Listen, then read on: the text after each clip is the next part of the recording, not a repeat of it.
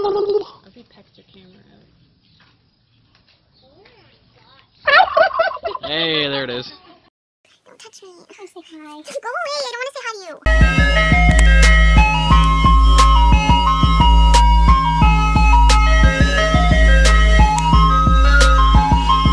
Hello, hello, hello. Welcome to this week's reading vlog. I had a terrible day at work today, so we're not even going to talk about that, but figured I would update you guys for what I'm starting this week. I am still like 180 pages into Abomination by Gary Whitta, and this is the book that I started last week, and it's the one that I like titled the last vlog about how this book is messed up, and it is still messed up, but still so so good. I'm not gonna give synopsis on what it is because I talk about it in the other vlog. So if you want to know what it's about, go to the other vlog and watch that. But still fucking with my head. And then I'm also reading The Winner's Crime by Marie Rutkoski, and this is the second book in the Winner's Curse trilogy. I'm like 200 pages into it. I really liked the first book, which I gave a 4 out of 5 stars, and I'm really liking this. I'm thinking that I might actually be liking this one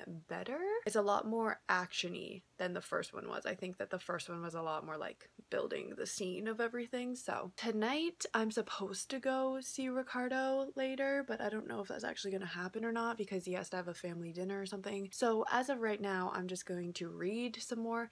Maybe I'll film a video. I haven't really decided what I'm gonna do. Hey, hi, I'm back. So, update for tonight. I didn't go to Ricardo's because he had to stay in for family night kind of thing. So, I've been reading Abomination by Gary Whitta, which I said earlier, and I only read like 10 pages, so I'm on like page 190 or something now. But the craziest shit just happened in it, so like I'm gonna spoil it for you guys. If you want to read this book, then don't listen until I put the book down. But the main character just got his head completely cut off and he's like twitching on the floor being dead. He has this ability where he heals really quickly. So I'm not even halfway through the book and the main character is dead. I'm thinking that he's not actually dead and it's going to be the same thing about when he got stabbed in the stomach and it took like an hour to heal. His head is going to magically like go back on his head because there's no way that I'm not even halfway through this book and the main character's dead. It's not a thing. I'm quite intrigued to see if I'm right. He may be dead, but like, I doubt it. Hi! It's now Tuesday around 7 o'clock. I've been home from work for like an hour. I haven't done like any reading yet except for like a chapter of Abomination by Gary Whitta.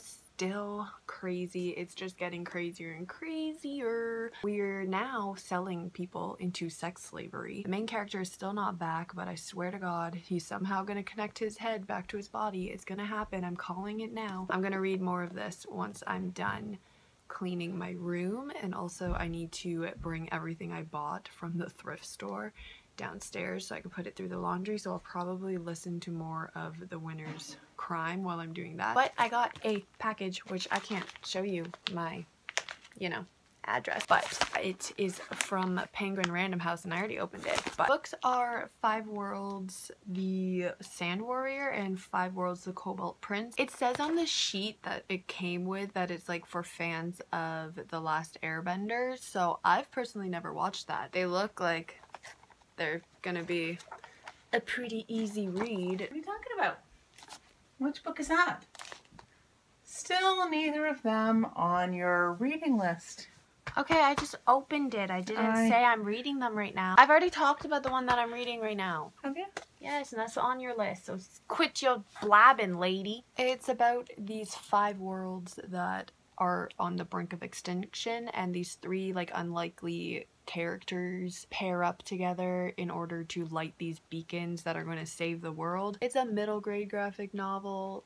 I didn't ask for them, but it's kind of cool to have things just sent to you randomly. So thank you to Penguin Random House for these graphic novels. I'll probably read them sometime this week because they're going to be super quick and easy. So probably going to read those after I finish Abomination because it's a lot. I would just like to say that I was correct. The main character is back. His head is back on his body. Like I said it was to happen. So Clearly, I'm just really good at calling plot. I'm actually gonna go shower and then have my mom braid my hair yet again. Probably read some more, so I'll update you guys tomorrow because I don't want to do it anymore and it's getting dark so the lighting's gonna go gross and we're not dealing with that. It's a Wednesday now. It's around 6.30. I just had dinner. We had quesadillas.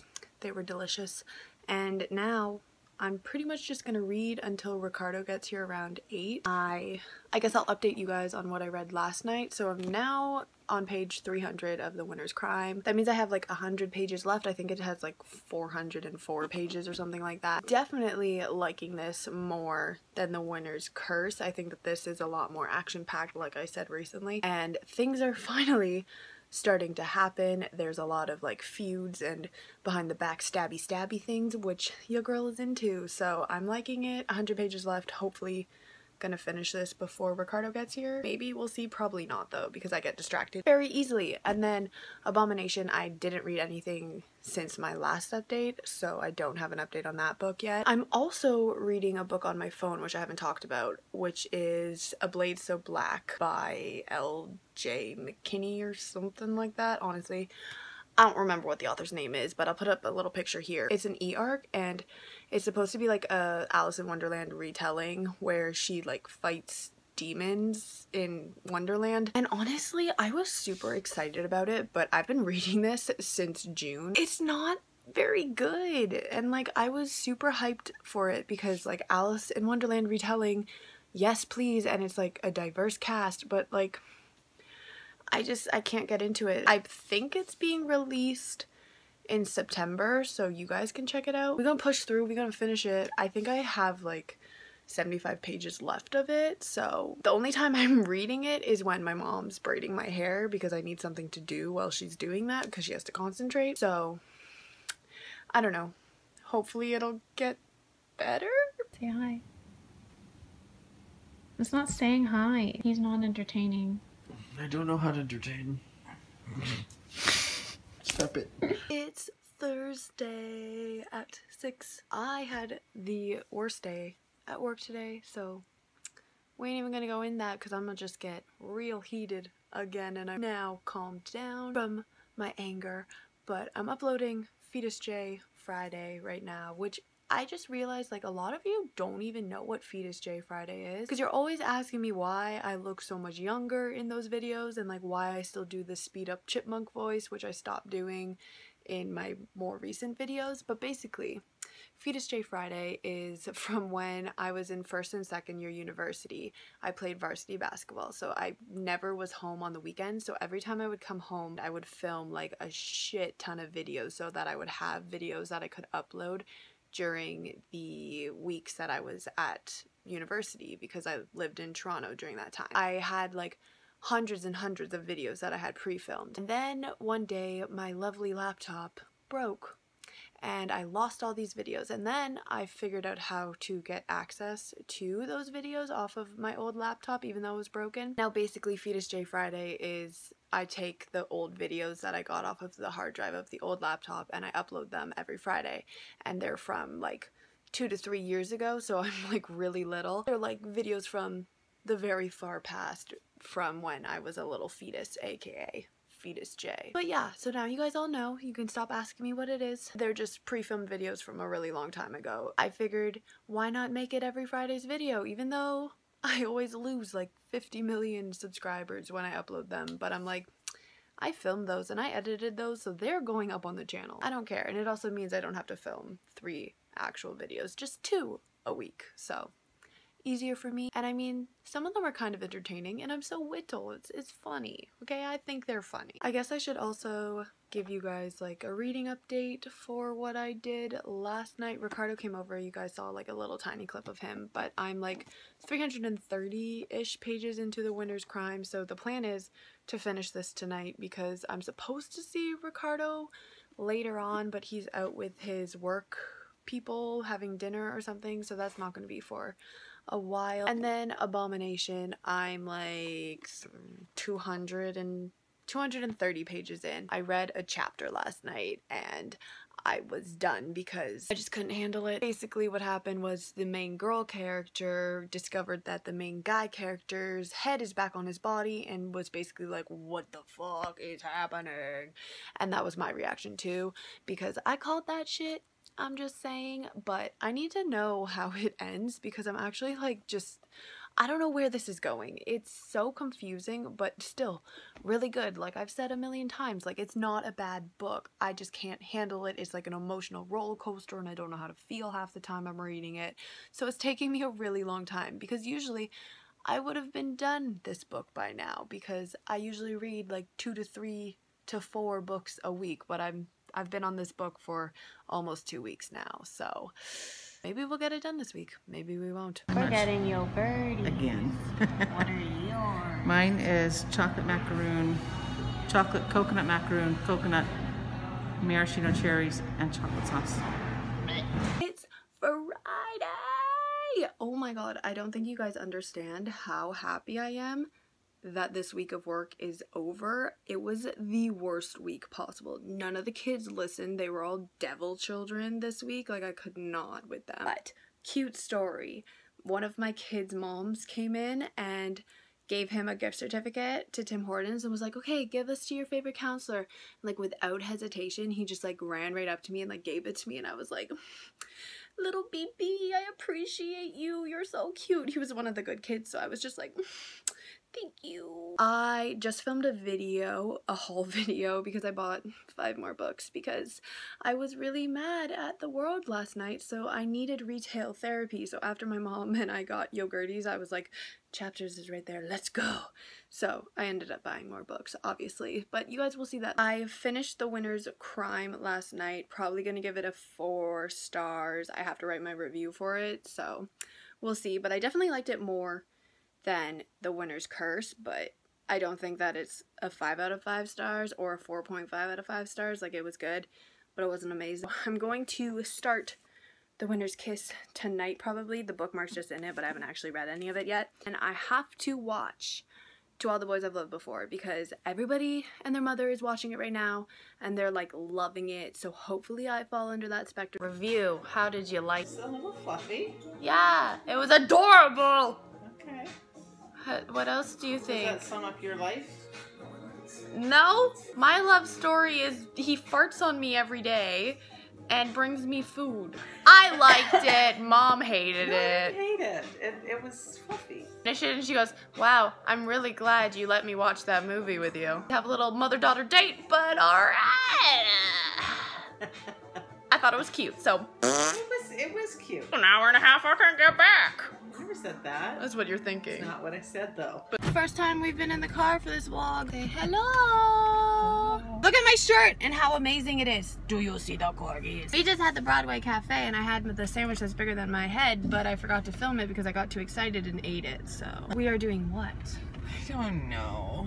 Yeah, we don't know what to do. We've uh, decided we're going buck shopping. We're so on brand for this channel. I wish I knew what that meant. You're so old. Get hip with the youngins like me.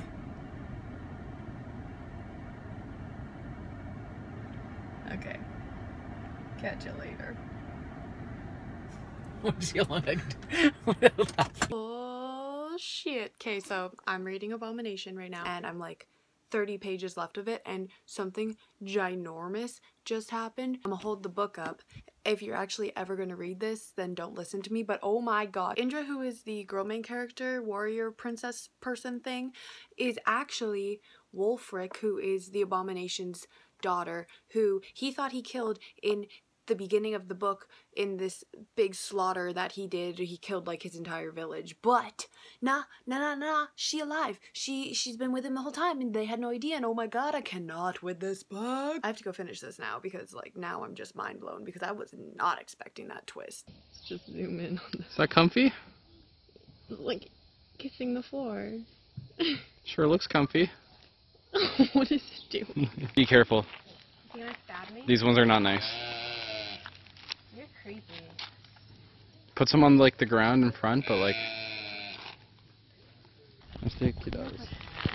Wow. He's like the spider of the, the bunch. Will you eat from my hand? Or are you gonna eat me? Simba. Actually, they have names somewhere. They have names? It's not Simba? No, it's not Simba. Hi. Cardo, come here. You ate it. You took it from me. What? What can I do? If you took it from me. Right there, right there. So like, you put that paw inside. Eat it. Can't even see her. She's hiding. I want her. Get me a lion. Okay. Her name is Solitaire. You're a lion. I want her so bad. Like you basically are a lion. I am a lion. They actually get so close. Just like chilling. Hello. Hello. Who said hello? Hello, Rip. Somebody said hello. It wasn't that, it was the other bird. I think it was cage. Xena. No, the other cage. Ripley, you're supposed to talk. Zena. Hello. Oh, he's following you, Ricardo. Following me. He likes you. Hello. Hello. I didn't do it right. Yeah, you didn't film from the side. What do you mean? It's good to kill. What do you mean? You filmed it upright, vertical. Ow! He bit me. Had a baby, baby. Little baby, right there. Right Smile. Oh, it like tickles though. No, no, it does. Oh, you're little. You get more. No! Stop being mean. no, I want the baby. The baby. Yes, there you go. Okay, you're not the baby. I like how they like fight each other for it. They like headbutt each other. oh yeah, really? Just because you're the tallest? He's me. He's me. He's a hog. Yeah, but he's like, I'm the tallest.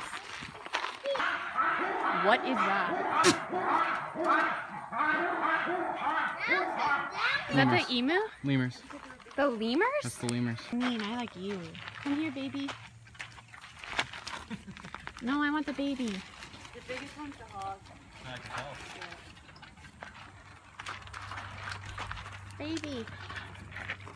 Oh, oh little baby. No, you get none. You're a greedy little bugger. Oh. Oh. Oh. oh, stop fighting. Okay. Jeez. it like tickles. It sounds like he's like burping. Bah. Bah. Bah. I am the goat whisperer. bah. I don't have any more. I have peanut all over me. Bungo.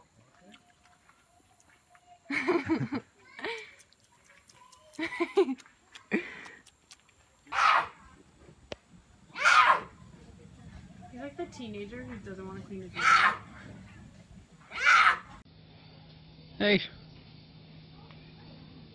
Hello, I'm ending the vlog now. As you saw, I was at the zoo all day today with Ricardo, and now it's like 6.30, so I need to go edit this so it can be up for Monday. So, thank you for joining me for this reading vlog.